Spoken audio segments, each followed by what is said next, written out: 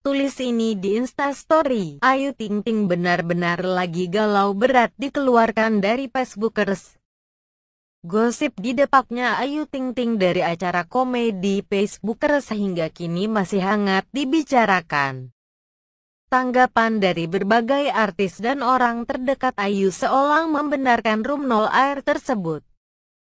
Ditambah dengan kabar membaiknya hubungan Raffi Ahmad dan Caca Tengker seolah menjadi petunjuk selesainya gimmick para pengisi Facebookers ini. Akan tetapi beberapa pihak masih belum bisa memastikan hal ini benar adanya. Pasalnya Ayu Ting Ting belum mengeluarkan keterangan apa pun.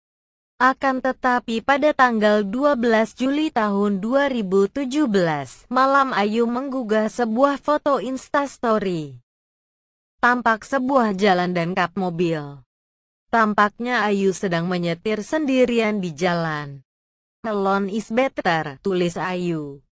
Langsung hal itu ditanggapi netizen sebagai kode bahwa Ayu sedang galau.